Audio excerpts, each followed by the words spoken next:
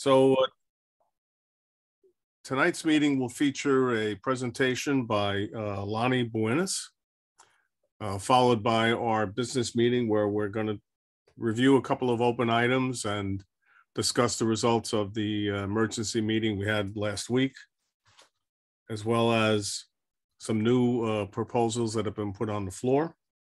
And we'll talk about some upcoming events that we are looking forward to. The uh, Earth Day ob- observation, as well as the AAI Astronomy Day in May. So without any delay, uh, Mary Lou, would you like to introduce Lonny and uh, take it from there? Okay. Um, I don't know, Lonny and I have been friends for a long, long time. And I really enjoy his sense of humor and his abilities at illustration, as well as his knowledge of astronomy. Um, and so I don't know about this talk at all. I've not heard this one at all, but it just sounded really intriguing. So, Lonny, tell us, tell us what gets on your nerves. What bothers you? Thank you, Dr. Mary Lou, for making this possible. I, I promise there's no swearing, there's no cursing, there's no sex or violence. um, but but I thought it'd be a great opportunity for me to get things off my chest. And so I thank you for being a captive audience for a night of straight complaints, straight through. This is going to be great. I get to complain about all the things that bother me in astronomy and astrophysics, and maybe some of them bother you too. And uh, at the end of the talk, I'd welcome uh, comments, questions, and contributions for what bothers you. So let's try it. I call it What Bothers Me, and I, am inspired by W.C. Fields. Some of us may be too young to know who that is, but you know, that's why we have the internet. We can look things up. What bothers do, me? Do you, do you smoke a cigar? Uh, no, I don't. No, I've never smoked. Uh, uh, I'm allergic. I'm actually allergic to cigarette and marijuana smoke. It, uh, it makes my throat close up, my eyes tear. When I was young, my parents took me into a, a, a restaurant that may no longer be there on Route 1 Circle. Uh, what the heck was the name of that place? And uh, it was a, a cloud of cigarette smoke. Everybody smoked back then. I, I, I couldn't take it. I had to leave. So, ugh, Things that bother me are misnomers.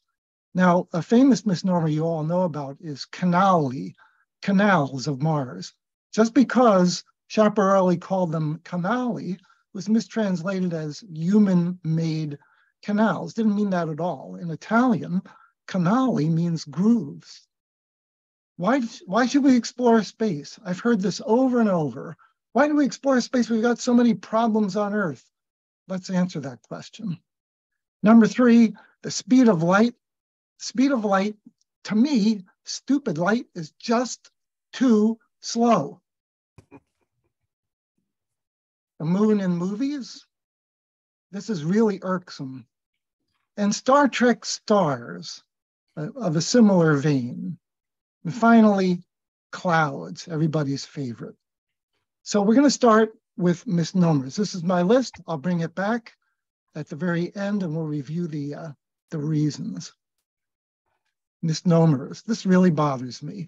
Theory, people use the word theory to mean all sorts of things that it was never intended to mean.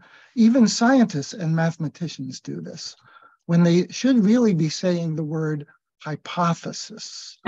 if, if you want to hear somebody who's very good at this and who consistently mispronounces hypothesis because she's German, check out the videos of Sabine Hossenfelder on YouTube. They're sponsored by Curiosity Stream and other big, big proponents of science education. But uh, she calls it hypothesis, theory and hypothesis. An hypothesis is a a, a, an idea put forth with some scientific reasoning, but it's not a theory. Hypothesis has to be tested, and so does a theory. Theory is a formal statement that can be tested, that comes from speculations, hypotheses. And the worst one ever, besides Canali, there's, there's a bunch of others, to me is the word expanding. When cosmologists talk about an expanding universe, they're stepping into a, a can of worms. Boy, how's that for a weird analogy? All right, let's break it down. Theory. There's a difference between a mathematical theory, which is a, a, a set of rules and laws set in mathematics, which can be theoretical and it can be tested, it can be proven. Uh, there's um, a, a, really good, uh, maybe a good example of an unproven but essential mathematical theory is the Riemann hypothesis. There's a prize for the person who proves this, but it hasn't been done in over a century. There's a difference between a mathematical theory and a scientific theory. And what should be called an hypothesis is this string theory. String theory is not a scientific theory. It's not a scientific theory, it's a mathematical construction. Uh, it has evolved or devolved because there are so many solutions to what they now call M theory or the multiverse which is vaguely and only loosely connected to M theory. Let's look at that in detail.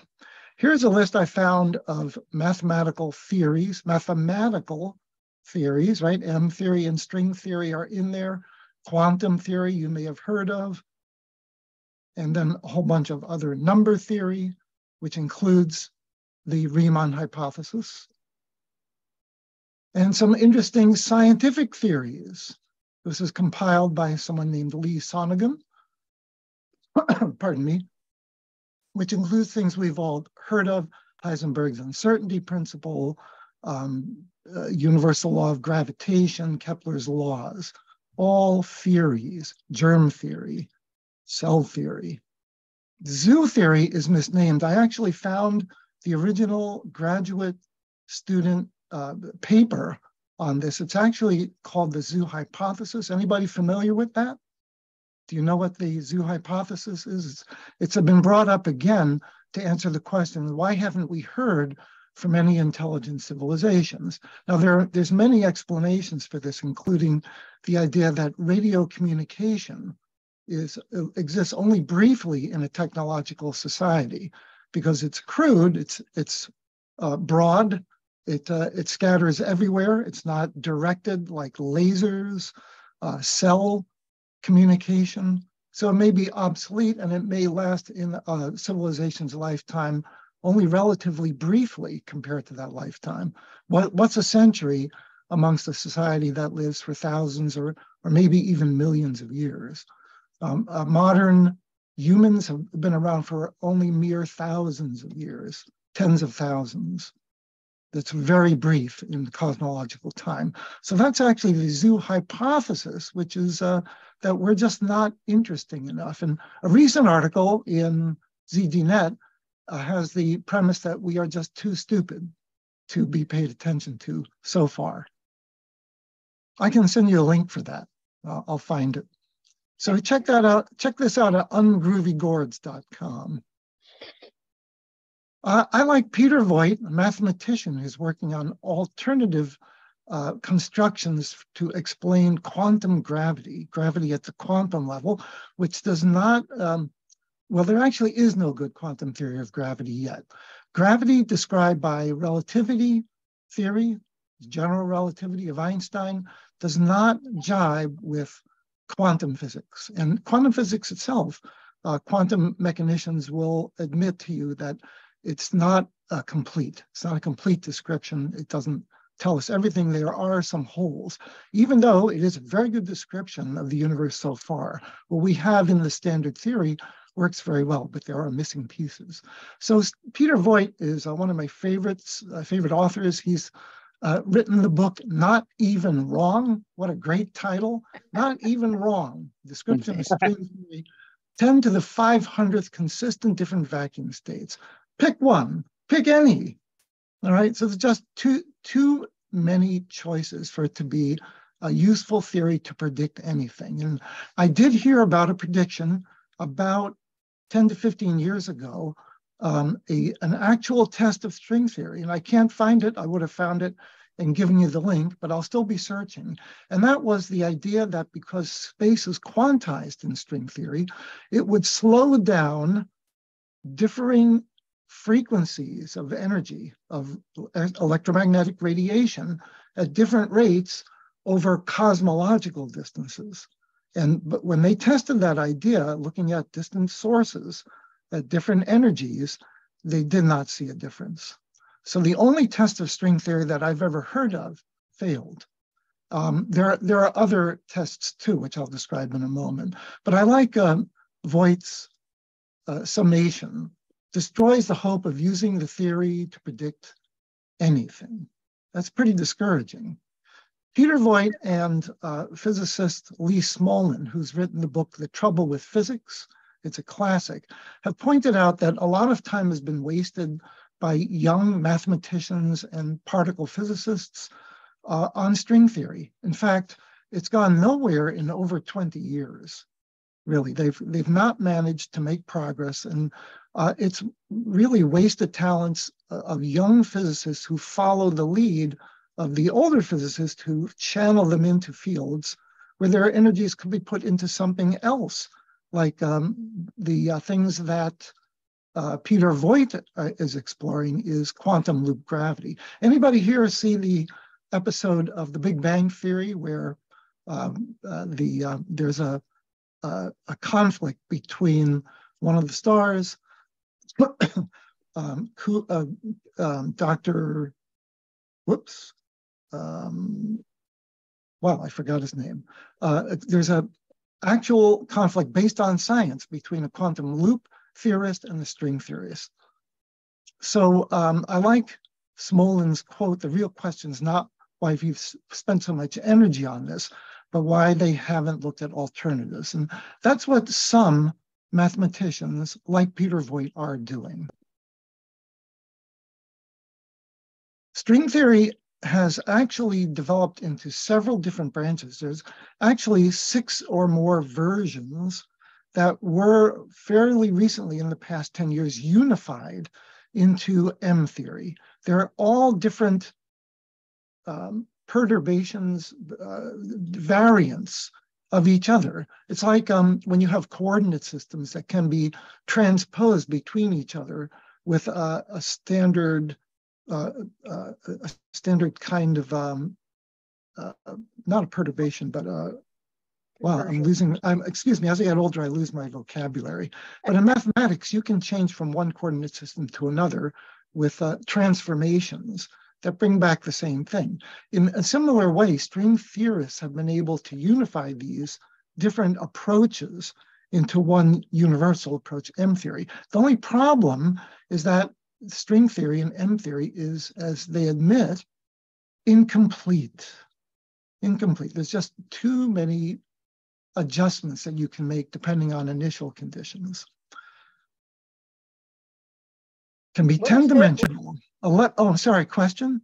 What does heterozoic mean? There was some funny word on that last. Heterotic, heterozoic, yeah. I, oh, he heterotic, what does that mean? I, I am not really sure, but uh, okay. those, I think those go beyond string theory uh, when they include an extra dimension, the bulk is supposed to be an 11th dimension, which would be a large, a fourth large dimension in addition to the three large dimensions that we inhabit. I think that that's what heterotic is referring to because they then embed the tiny wrapped up dimensions, three for each of ours that we see, um, plus time. So that's three times three is nine of space, one of time, and then a bulk would be a large fourth dimension, a large space that the th our three-dimensional space with time would fit into. All very complicated. I do not pretend to understand the mathematics. Uh, as a hobby, since I'm retired, I figured I could spend the rest of my life trying to, to figure it out. But I'll need to learn a whole lot of math before that. By the way, since this is rather small group and, and rather informal, feel free to interrupt with questions. If I don't know the answer, I'll, I'll either make it up or I will admit I don't know something. Uh, I am, after all, an amateur astronomer, so I, admit I know hardly anything. I did study physics and computer science in, in school, but that was a long time ago. So there may be 10 or 11 dimensions. How do we know? We can't test it. The energies that we re require to test thing, string theory are way beyond us, way beyond even the Large Hadron Collider with its 14 tera electron volts. It's 14 trillion electron volts maximum. The latest test came out at 13, which is incredible. They were uh, the, the Tevatron, the one trillion electron volt collider, managed to uh, prove, uh, to find other missing particles like the W particle for the weak force. But they needed the Large Hadron Collider to find the missing piece, the final missing piece, the Higgs boson, which proved that the Higgs field uh, indeed was necessary to complete the standard model. And Peter Higgs who was one of the originators, lived to see it 50 years later. It's incredible. Came out with the idea that there must be a field to define mass for all the particles and other fields in 1964. And in 2012, they found the Higgs particle, named it for him. He's still alive. The multiverse is another idea. And this irks me that people talk about this so much. Sabine Hossenfelder, who I mentioned earlier, has on YouTube a wonderful explanation of why she thinks this is religion, not science. And that's because something, for something to exist scientifically, it has to dis usefully describe existing observations. It has to tell us about something we can observe. And she has several reasons this doesn't work. The, the principle being the simplest assumption is none. You don't need to make up something in order to explain observations. It might be right, but unless you can support it with observations, forget it. The multiverse does not predict the existence of our universe. It's a kind of more of an, a, an idea. Other universes aren't science. You can't observe them. And falsifiable universes are conjectures. But check out the video. Look up the um, uh, if you look up multiverse and religion, you'll find it on YouTube. Very entertaining. All of her videos are under 20 minutes, usually 11 to 19. Some of them are very short and very entertaining. And she's got a great sense of humor. She is a particle physicist, um, brilliant, has come up with a, a, great many great ideas. And she's very good in explaining this at a, a lay level to us lay people. So expanding universe, this really bothers me. The, the use of the term expanding. If we say the universe is expanding, as astronomers often do, that implies that it must be expanding into what? Something, right? It's got to, the word expand means to get larger within something else. A volume gets larger in another volume. Now, if cosmologists were to explain this by saying the universe is expanding into a, a higher dimension, that would make sense. Just as a balloon has a two-dimensional surface that when inflated expands into a three-dimensional volume, right? So we have to look one dimensional higher. This is the idea of the, the expansion since the Big Bang. You've probably seen an illustration like this before. And even the idea that the universal expansion, which we know is happening, is accelerating, is coming to question. Sabine Hossenfelder, three years ago, put out a video showing that the original studies of supernova to measure this acceleration of expansion were biased in one direction. We've now found out that our local supercluster of galaxies sits on the edge of a void a vast void that biases the calculations. And so new studies are taking into account more of the volume around us. And around us, by around us, I mean very far from us, not the local supercluster of galaxies. So instead of saying expanding, now a lot of astronomers are saying the, that the space between galaxies is enlarging. It's getting bigger.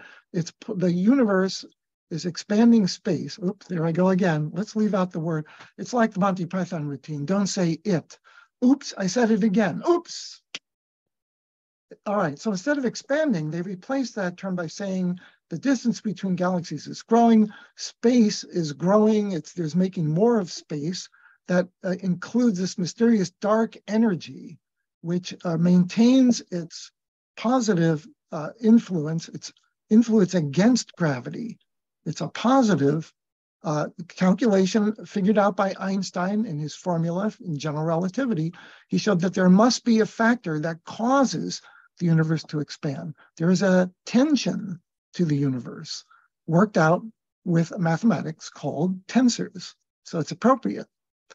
But that avoids the, the question, what, what do you mean by growing larger? That's an expansion, isn't it? Well, by studying the cosmic microwave background, often referred to as the CMB, with special satellites like the Planck satellite, we now have an opportunity to uh, measure the shape of the universe, the shape to see if it's open, closed, as it's expanding. And how did they do that? Well, they, we can calculate what the universe should look like if it's flat, if it's closed like a sphere, or if it's open like an hyperboloid. If it's open hotspots in the past, the hotspots uh, of the, the tiny fluctuations in energy from the early Big Bang that we can look back to up to 380,000 years after the Big Bang, when the universe became transparent to light. That's the light we're seeing, the earliest light now, finally visible to, to the James Webb Space Telescope. If, if the universe is hyperbolic, hotspots appear smaller than the calculated size. If they're if the universe is closed, they appear larger. You can think of this uh, another way to think of this is if you were to draw a triangle on an expanding, closed, spherical universe. We, by reducing the number of dimensions to two, we can visualize this because you and I, as human beings, can't visualize in four dimensions. So let's bring it down to a two-dimensional universe. Let's say you're a two-dimensional creature living on a two-dimensional universe. You think it goes on forever in a flat plane, but unbeknownst to you, it's curved in the shape of a ball in the third dimension. If you could measure sufficiently far away a triangular shape, you could find that some triangles would not have sides that add up to 180 degrees apart in angle.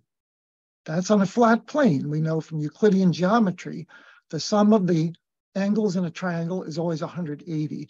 Here's one that's three times 90, 270. If you can measure that tiny variation over the universe, you can prove that way that it's curved. Unfortunately, the universe is probably so big that that angle is going to be extremely hard to measure. The last measurement did show an indication, the one that I read about, that the universe does seem to be curved very slightly. And the observable universe at 46 and a half billion light years in radius is exceeded by the actual universe by a factor of several hundred. So just as we inhabit a tiny portion of our galaxy, and our galaxy inhabits a tiny portion of the superclusters around it, we are probably somewhere in the outskirts of a vast, vast inobservable universe or unobservable. Inobservable? Unobservable. You like that? Anybody see the, the Simpsons episode where uh, the, the cranky old uh, uh, nuclear facility owner uh, is in the aisle and he looks at ketchup? Ketchup. Ketchup? unobservable. So there you have it. Let's, my solution is let's either not say expanding or just say the universe is expanding into a higher dimensional space. It would give us the same viewpoint at any place in that three-dimensional universe. Anyone would see galaxies moving away in exactly the same way. Frame independence, which is part of general relativity. So there is a way to unify the physical universe, what we see, with general relativity's description of what happens when you travel fast enough to see time and space effects in space-time. expanding. Don't say expanding. Here's one of my favorites. Why explore space? Why? Why bother? It's too expensive. It's too dangerous. It's too wasteful. Why don't we solve all our social problems first? Well, why don't we take all the money we spend on beer and video games and solve poverty? Hmm. What's in it for me? That's my favorite. Why explore space? Here's an answer. There's a great book. I heartily recommend it. It's old. It's from 1984. Out of the Cradle is uh, written by a, an astronomer who's responsible for the, uh, uh, the first scientific use of crater counts to date surfaces on the moon, Mars, and other bodies. He was in there early when the debate was between volcano, volcanic source or meteor source for, for craters on celestial bodies, way back, 60s. I got to meet William Hartmann, great guy. He's also a space artist who was trained by Ron Miller, space artist, and Pamela Lee has done wonderful illustrations in this book.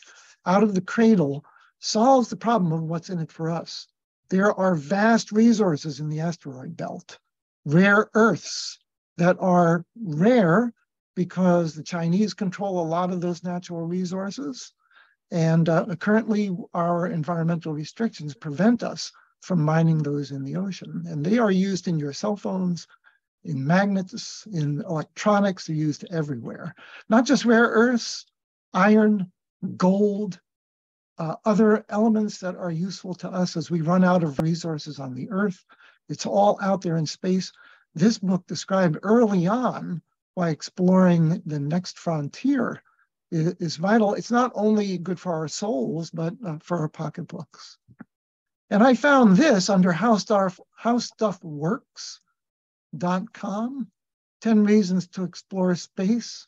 A really good one uh, that's being put forth now by the National Space Society, of which I am a member, protection from a catastrophic, catastrophic asteroid. And that is a topic for a whole nother talk. There's very good reason to complete the survey of near Earth objects, NEOs, check out uh, JPL's site on NEOs, Jet Propulsion Lab. They've been tracking these things, and, and now they have a very good catalog of all objects bigger than about 110 meters or so. Actually, they're tracking a lot of these things, smaller and smaller, but they're not complete. They've got about 70%, 70% of everything a kilometer and up. Would lead to great inventions, good for your health, all right, uh, we might need to colonize space to survive. Um, told, uh, the um, let's see, the crater on the dark side of the moon, Toll. Ooh, yeah, and there goes my memory again. Uh, one of the fathers of space flight, the, the Russian, uh, anybody remember? Oh, this is a good test. I'll let the audience. Tsiolkovsky. Tsiolkovsky, is that who you're thinking of? Tsiolkovsky, thank you. Yeah, there's a crater named for him. Thank you very much. It's my failing memory. Tsiolkovsky, uh, I believe, is one of the ones who said um, Earth is the cradle of civilization, but we cannot live in the cradle forever. So here's some good reasons to explore space. One of my favorite debates was Dr. Carl Sagan, famous for billions, never said billions and billions, but he did say stars, stuff of which we all made. In 1982, he debated Senator William Proxmire, who had a, a program to cut waste. And he was uh, being interviewed, and Proxmire uh, said, why, why do we need to bother exploring space? The stars are, are always going to be there. Come on. And Sagan uh, was quick, very quick way to respond instantly with, yes, but will we? Oh, and by the way, uh, he um, he won backing for the hunts for uh, the the reasons for exploring space for preventing catastrophes. And Sagan's actually also uh, critically responsible for studies of uh, nuclear explosions that would lead to a nuclear winter. Right? That's really that's way back, early 80s. So my final complaints are about the speed of light. This is how I imagine the speed of light. This is an illustration of Rip Van Winkle before he fell asleep. Light is a sluggard. Look at this. 300,000 meters per second. I mean, that's in one second, light goes only 78% of the way to the moon. That's disgusting. The um, by the way, the meter standard of length used by the scientific world is based on light now. It's defined exactly as 1 299,792,458th of a second. So here's a problem. This is this really bothers me that it takes this long at the speed of light to get to the moon. So there's a delay in communications. To Mars, depending because Mars sometimes approaches Earth closely every 17, 15 to 17 years, or if it's on the other side of the sun, it can be much further, anywhere from three to 22 minutes.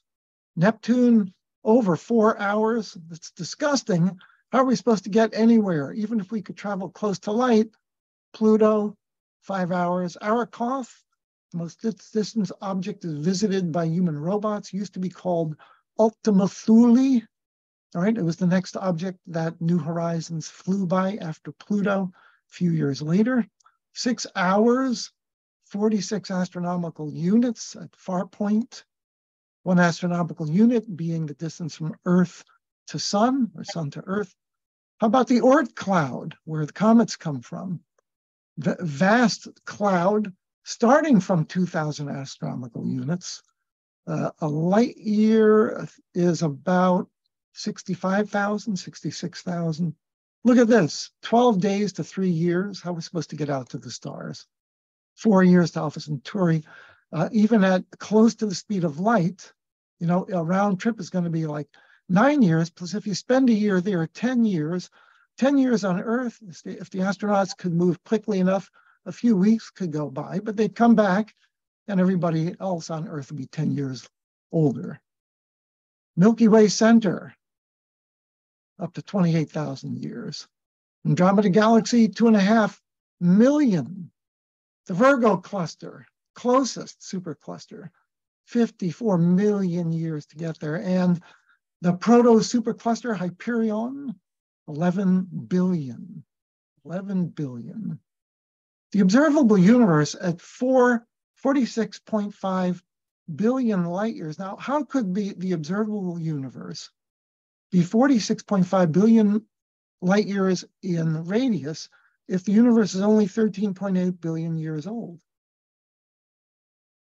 How's that possible? Anybody know the answer to this? Well, space is flexible. Space-time, Einstein actually coined a new term, space-time. You have to consider it together. Space-time flexes the universe, when it expanded, actually expanded faster than the speed of light. It did not violate any physical laws, all right? Because Einstein's restriction only applies to the space-time medium within it, not what happens externally. Space can expand perhaps at any speed. And uh, this leads us to, to ask, is it possible to warp space so that we can travel effectively faster than light? It is theoretically possible, uh, Alcubierre is one of the first to show theoretically that there's no violation of general relativity, although there are practical limitations, because where are you going to get the negative mass to, uh, to run a warp ship? There may be alternate ways to do it. We just don't know.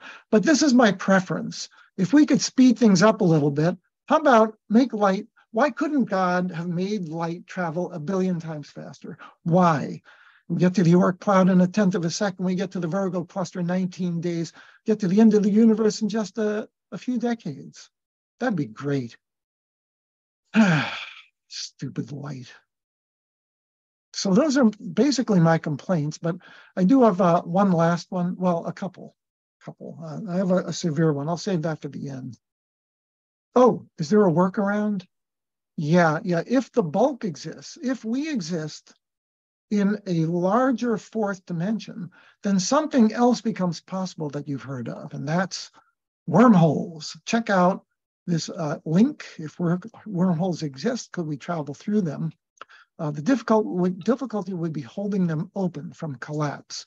But uh, just as uh, I did before, if we restrict our three dimensions down to two, and imagine that we're a poor two-dimensional creature living trapped in this two-dimensional surface, here, how could we get here quickly?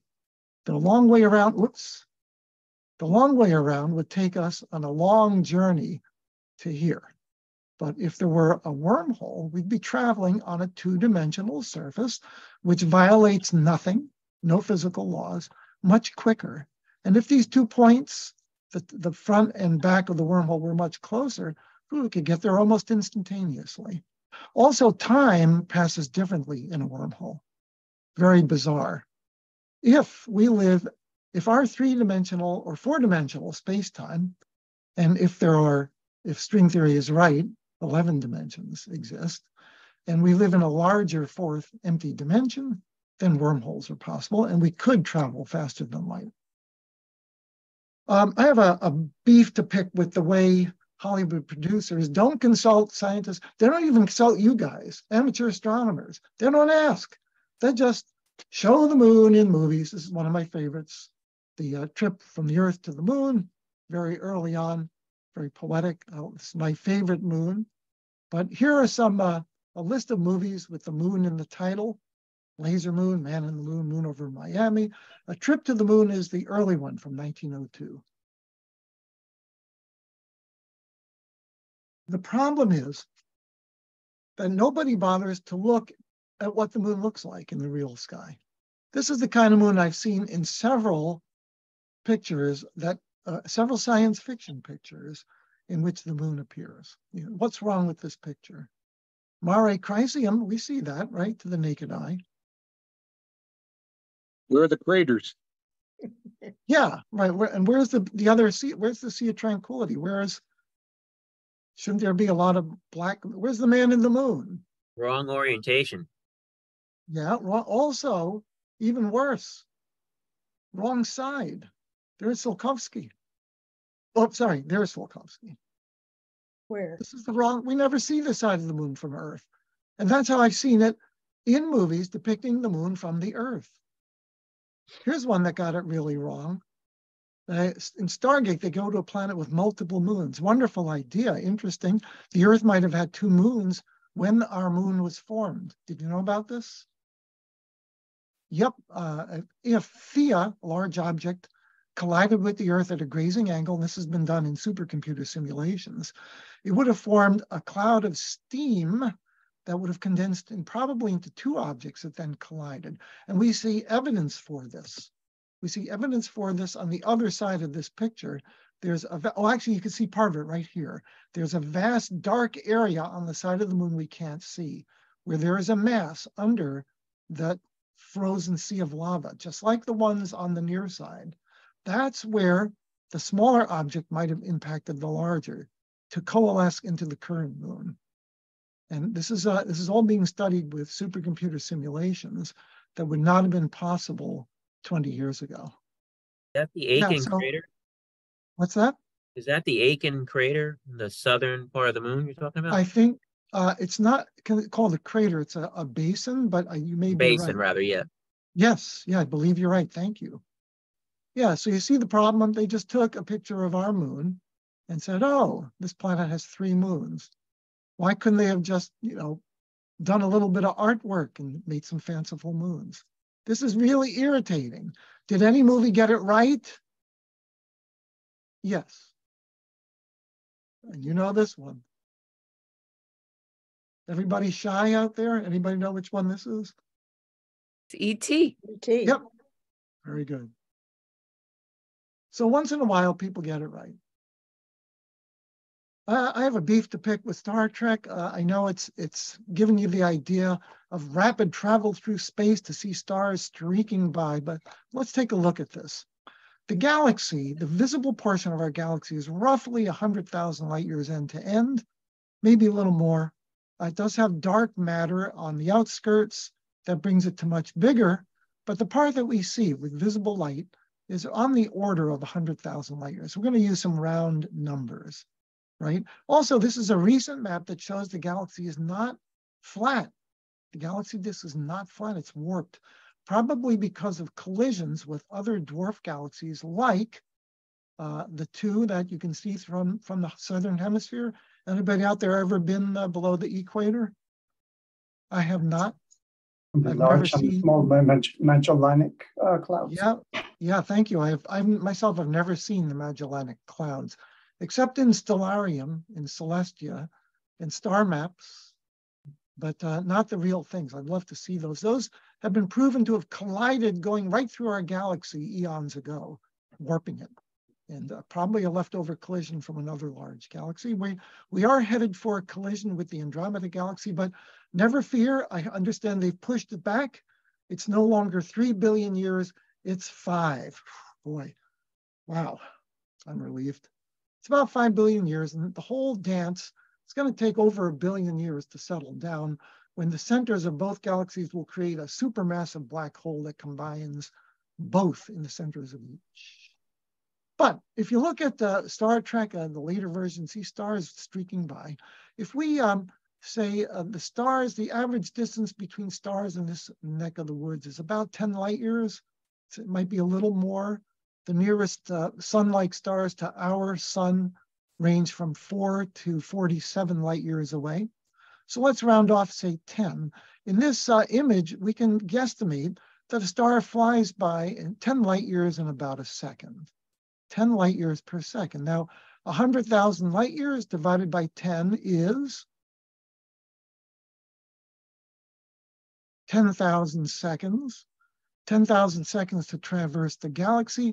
A day is 86,400 seconds. So it would be a few hours to traverse the entire galaxy.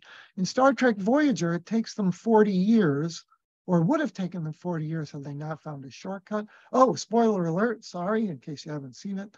So it's taking them so long to get back to Earth when they end up in a distant quadrant by accident.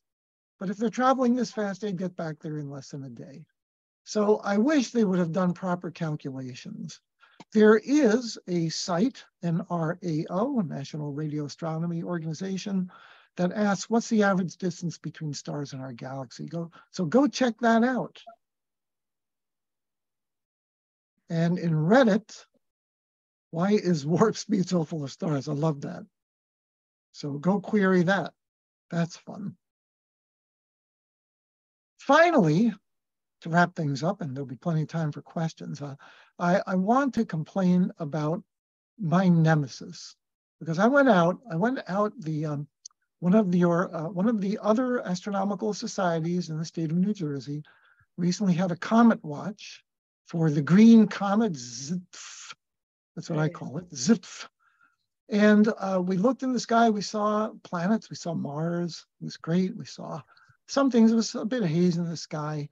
Uh, but when we look to the north where the comet was by the Big Dipper, that's where the haze was. Oh, oh. so all I have to say for clouds is this and that, my friends, is what bothers me. Let's use hypothesis when people say theory, when it isn't a theory. Let's not say expanding universe if astronomers insist that it's not expanding into anything, it's just expanding. Don't use the word expanding, say something else. Make up a word. It's flabularizing. The universe is, as Carl Sagan would have said, the universe is vast and flabularizing. Why explore space? Why not? Human beings are explorers. You can't hold us back. Uh, there, there may be a vast majority of us who don't care. There's always going to be human beings who want to push the boundaries. And there's stuff in it for us. There's resources out there. There's, at the very least, there's iron, there's diamonds, right? They both, some people believe that because Phobos, the moon of Mars, is carbonaceous chondrite, and it impacted at a high rate to, to be blasted off of Mars, that its core may be diamonds. We might find diamonds on Phobos. Or rare earths that we need for technological civilization that depends on magnets, powerful magnets, and cell phones. My God, what will we do without cell phones? The speed of light is too slow. There, I've said it. And the moon, the moon in movies is wrong. It's wrong. Uh, my wife hates it when we go to a movie and I see the moon and I start muttering under my breath. It's worse than that woman next to us with the candy wrapper. I swear, the last time we were in the movies, a woman sat there unwrapping some candy for five minutes. Five minutes. It doesn't take me five minutes to unwrap a piece of candy. I almost stood up and went over. I started to get up to offer my assistance, and my wife just pushed me down as hard as she could. And finally, Star Trek stars are just too fast. Let's get it right. Of course, if they did that, the stars would be, as we say in the scientific terminology, boring. So I guess you have to take artistic license. And finally, the thing that really bothers me in astronomy is ugh, clouds. Thank you. You've been a good audience. you can get you can reach me at uh, my email. Uh, my websites are uh, astronomyinmotion.com. And I have a new one, Mars at Your Fingertips, lets you explore a three-dimensional model of Mars and click on hotspots to bring up snappy videos narrated by my wife, who I haven't paid. Any questions? Uh, yes. My question, okay, is this goes back to the multiverse um, concept. It, I'm trying to understand, okay, in theory, the multiverse, are they saying that there are other universes that go on inf infinitely or just other um, universes that go on to a finite point? That, that's a very good question. The multiverse idea, uh, one of them is that we live in a, a space that generates at random intervals, evidently, from tiny fluctuations in the quantum vacuum, whole universes, which may have values of the physical constants different from us. And so in many of these universes, atoms and advanced life that is self-aware and asks the question, where do we come from, cannot evolve. So perhaps our universe is one of many and one of the few in which, which does have intelligent life. They did a recent study that changed the values of some of the physical constants, including the weak force, and found that there, that there is some leeway where there's a, a, a variation in the values that would allow atoms to form. But the multiverse idea is that these universes evolve, grow, evaporate like ours over and over. The problem is we can never directly interact with them. There's no way to measure them, no way to interact. They're trying to think of clever ways that we could attain information from an indication of them from the cosmic microwave background, which we can access. But as far as it being a real science, Sabine Hossenfelder calls it uh, a religion. Lonny, great job. Oh, thank you very much. You're welcome. Yeah, question. I have, I have one question. Do you, do you oh. have any pet peeves about uh, aliens and visitation and all of that? Well, you know, uh, I do I do have one, and that is um, the um, the astronomer Marjorie Fish did a scientific study of the Betty and Barney Hill incident in the 60s, in which they claimed to have been abducted, abducted by aliens, hypnotized, uh, may have uh, have, having been made to have their memories wiped, but it was not successful. And under hypnosis, Betty Hill revealed a star map that uh, matches a pattern of nearby stars. Now, Carl Sagan and a graduate student wrote a paper which debunked this by showing you could take any arbitrary group of stars and make up any pattern. But Marjorie Fish debunked this by picking only stars that are favorable to form planets like the Earth's sun. She picked solar stars of a particular age, slow rotators, something that was convenient to travel between in a starship. And there does happen to be a ring of such stars, solar stars, about two dozen of them. They're visible only from the southern hemisphere. They include Tau Ceti, Alpha Centauri, and the stars that the aliens seem to have come from is a double star system, Zeta Reticuli. And the star map shows two stars close together in the foreground, a bunch of other stars that line up very nicely if you use only the solar stars. So there is potential proof that we were visited by aliens in the 60s. And an additional proof, the star map that proves it, the Gliese catalog, did not exist at the time of the abduction. It came later, and the Gliese catalog was the first accurate assessment of the distances of these stars. So in that case, I think um, we have proof of a visitation, but scientifically, we can't prove it. I, I, I happen to believe that we're not special, that the processes that made us, that made DNA, are everywhere, everywhere in the universe. And we could have as many as 10 billion intelligent civilizations in our galaxy alone, but at different levels of technological advancement, from cave people to I don't know, a civil, what would a civilization that's been around for a million years be like? We have technology, high technology for only a century. Can you imagine if we'd been around a million years? What, what could we do? Would we have warp drive? Would we attain, would we be a type two civilization using the entire energies of our sun? I don't know. Interesting speculations. Mm-hmm. But that, Chris, that's a very good question.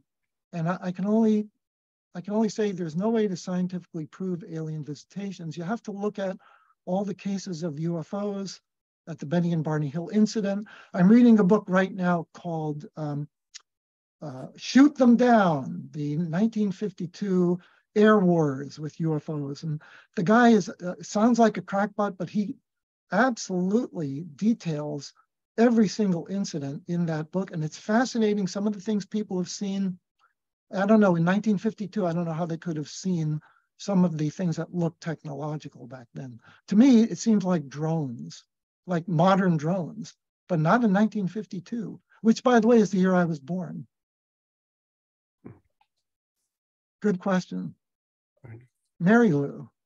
So I have something um, it's just tangentially related to what you were talking about, about the speed of light and the fact that Pluto is uh, almost five hours light speed away from us, uh, a little less than that. So when we sent spacecraft out in the last century, um, like Pioneer and Voyager, they went past the distance to Pluto and are now far, far beyond that. But once they got out past uh, whatever planets they could see easily, they were um, put on a, on a very um, low level of energy and what they did was that somebody at JPL would press a button in the morning and send out a signal that says, uh, how are you doing today? What's the temperature? What's the magnetic field? Um, what, what sort of things have you uh, experienced today? All right, what's the battery power?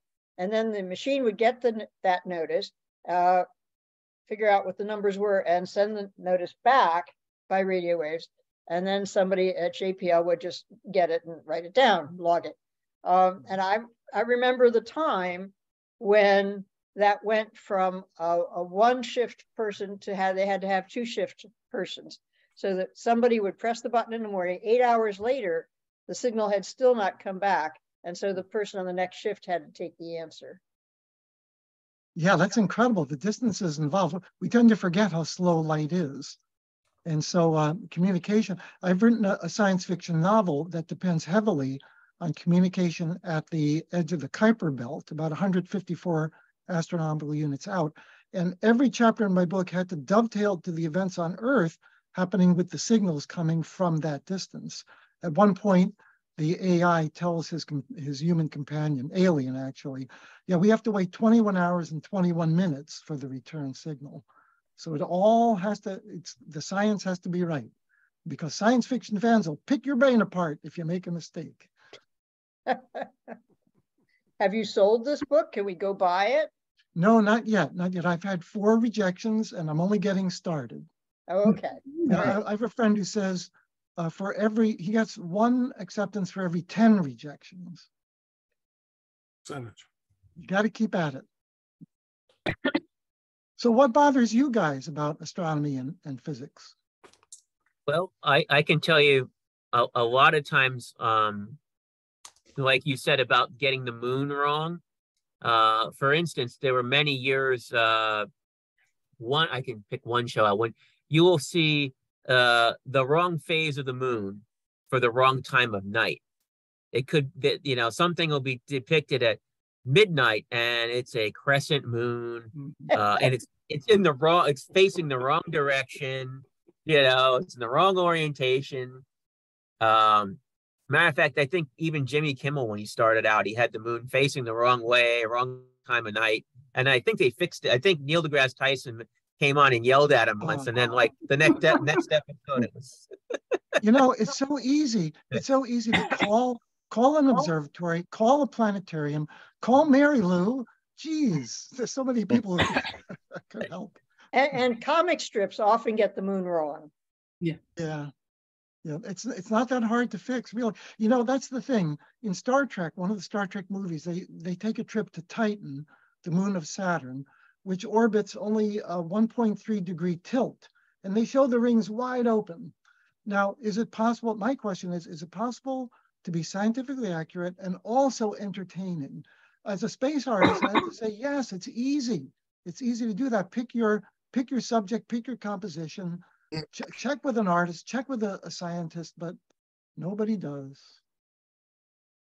And the, the American Academy of Sciences has a person on staff that is uh, tasked with interacting with um, not just media, but with entertainment. And so people call her uh, with questions like this nowadays. Yes, there's a, a, special person in charge of that sort of thing. Mary? Yeah. Um, mine isn't so much exactly with astronomy and physics. It's more with the media that I don't think it gives enough attention to the to science. We get an awful lot of information about like the Oscars the other night, you know, on the on, a lot about the entertainment industry. I think we need more press about science. I agree. And, and they the sources are I don't think the sources of information are hard to find. I yeah. guess they just don't want to make the effort. Yeah.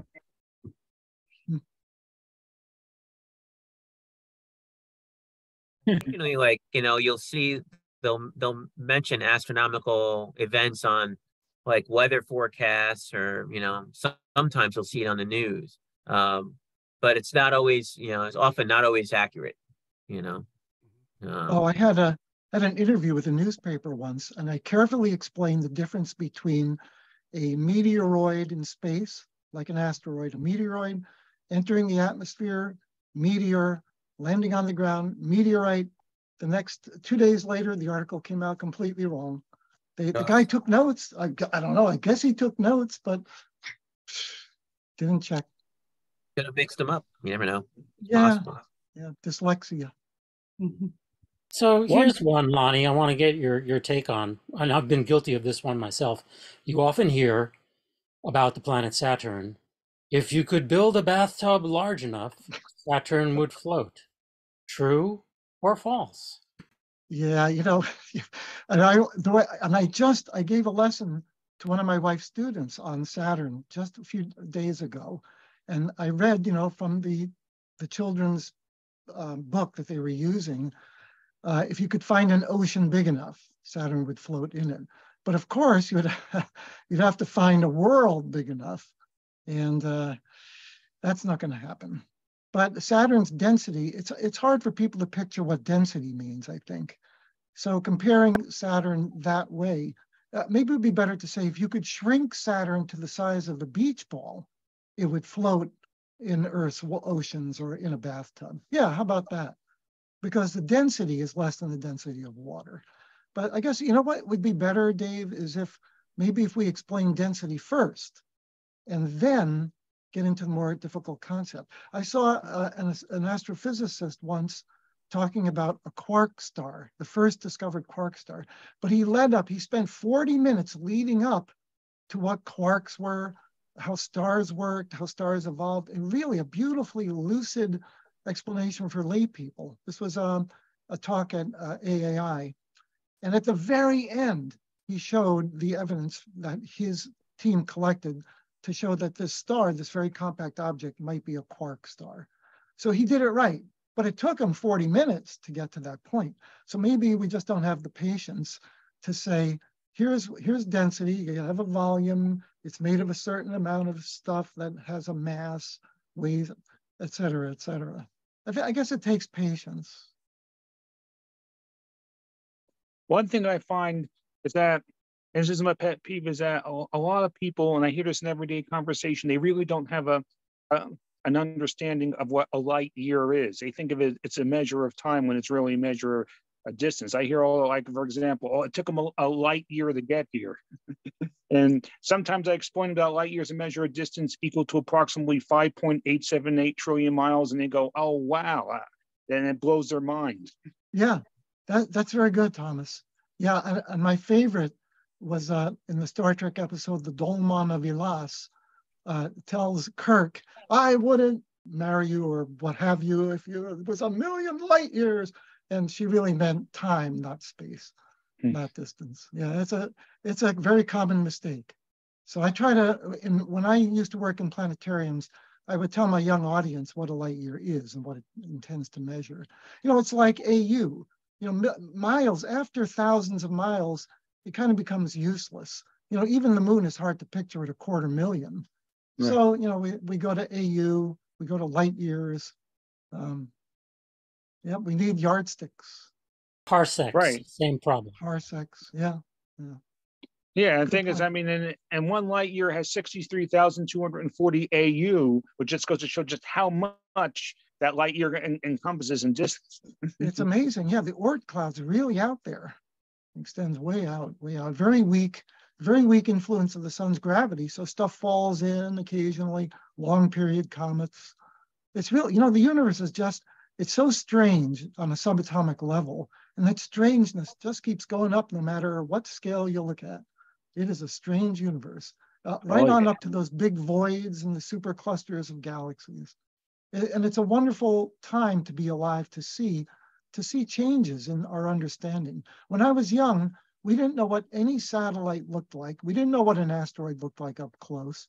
We thought that uh, that there was plant life on Mars that changed color with the seasons. We we had no idea about extraterrestrial planets. Boy, you know, come a long way. Yeah. Oh, back then I could count all, I could name almost all the moons of the solar system. Now forget it. Jupiter just got 12 more. Now it's up to 92. It's in a race with Saturn. I think Saturn's going to beat it eventually. What do you think? collecting, collecting potatoes. Yeah, yeah, right, man. If you count all the uh, the moonlets in the rings, forget it. It's thousands. Oh yeah. I think the one thing that I maybe maybe I would say angers me more than anything else is uh, when I tell people that you know oh, I'm I'm an amateur astronomer, they automatically go, "Oh, what sign are you?" Oh dear. they mix up astrology with astronomy all the time. And yep. and I get that even in, in public telescope nights, that the um, usually the person after that is at, at will ask me, have I seen aliens through the telescope? well, just say yes. Just say, yeah, I know. Yeah, just say yeah. Oh, yeah, the other night. Yeah. Yeah, they had big eyes and right. And yeah, and these no, and these two individuals are almost always like right after the, each other. The, the person that asks about aliens is either before or asked hmm. after the person that asks about astrology. It's it's it's you know it's, I I got to meet the uh, the author um, um, Isaac Asimov, and he was he was a real uh, colorful character. He once described how he was invited to go on a show to debate astrologers, and he said he's all gone. Oh yeah, yeah I'll go. I'll, I'll I'll blast them to smithereens, uh, tear them apart. So he goes and he looks up his sign, and it's the old sea goat. And so he said, he tells his wife, I'm not going on any show where they're going to call me a goat and refused to debate them. But that happens to be my sign as well. December, mm-hmm. Capricornus is the goat, the sea goat. The only problem is the sun is in Sagittarius in December because of precession. Mm-hmm. So it's all wrong. Yeah. Right. You know, Mark, when they, they ask you if you're looking at aliens with your telescope, you could say, probably yes, and you won't be wrong. yeah. yeah. Yeah. Well, especially if I have Europa in in the eyepiece or something along those lines. Oh yeah. Chances I'm are... a firm believer that we're going to find advanced life under the mm-hmm. surface of Europa. And by advanced, I mean more than just microbes. Not people, right. but maybe more than microbes. Yeah. Right. Okay. Yeah, it might be. Questions? Oh, sorry, Mark. No, go ahead. No, that's fine. It's not important. Okay. I was just thinking we'd wrap up and move on to the next stage. Lonny, thank you very much. It was Thank, very Really well inter- done. entertaining and Yeah. informative. It Really I'd nice. happy you, Lonny. Thank you, Lonny. Thank you. Thank you, Lonny. Thank you. Take care, guys. I gotta go. Take care, Lonny. Bye-bye. Thank you. Uh, Thanks, Dr. Thanks. Mary Lou. Yeah. So, uh, Mark, you want to launch the uh, PowerPoint? We'll get the business meeting started. Yeah, you need a